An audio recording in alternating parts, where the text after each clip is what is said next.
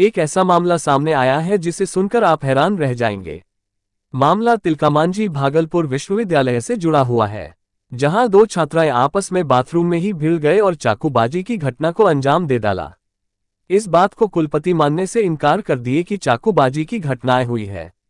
लेकिन यूनिवर्सिटी विभाग के द्वारा छात्रा के पास से दो चाकू बरामद किए गए हैं। बता दें कि इन दोनों पीजी के कई विषयों के एग्ज़ाम चल रहे हैं, जिसको लेकर ये दोनों छात्राएँ भी एग्ज़ाम देने के लिए पहुँची थी। जिन छात्रा के बीच विवाद हुआ है, एक होम साइंस की है तो वहीं दूसरी मनोविज्ञान की छात्रा है। इस घटना को सबसे पहले विभाग के चतुर्थ वर्गीय कर्मचारी बम्बम ने देखा। इसके बाद इसकी जानकारी विभाग के डी सहित शिक्षकों को दी गई, जिसके बाद मौके पर पहुंचकर दोनों को शांत करवाया और दोनों के बीच सुलह भी करवाई गई। जिसको लेकर विभाग के डी ने दोनों छात्रों के परिजनों को कार्यालय बुलाया और लिखित लेकर दोनों को जाने दिया। लेकिन किसी ने इसकी सूचना कुलपति डॉक्टर जवाहरलाल को दे दी। इसके बाद कुलपति विभाग पहुँचे और मामले की जानकारी ली।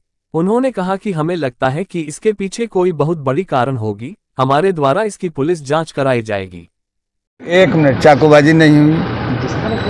आप कैसे बोल दिए? चाकूबाजी आपस में झगड़ा हुए हैं। क्या कुछ है कुछ नहीं, अभी मैंने प्रारंभिक उसकी जाँच की है, जितने भी जो शिक्षक, शिक्षिकाएँ और जैसे क्षेत्र कर्मचारी जो है, उन लोगों को बीच में बुला करके मैंने एक एक पॉइंट कहाँ हुई, कहाँ का घटना हुआ, कब हुआ, कितना बजे हुआ कौन कौन शिक्षक ने देखा, है ना, दोनों को, लड़कियों को लड़ते हुए फिर बाद में जो है, एक में एक फ़ोटो आया है छोटी छोटी चाकू है, उसका भी पता नहीं, उसने बताया कि उसके बैग में था।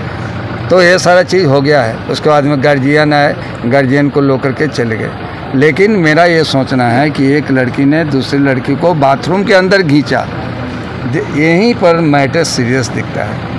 वो तो अच्छा है कि हिस्ट्री डिपार्टमेंट के एक कर्मचारी है, उसने हल्ला मचाया। बम्बन ने पहले देखा हल्ला करते हुए तो वहाँ जाकर देखा, फिर उसने बुलाया। तो कोई बड़ी घटना हो सकती है।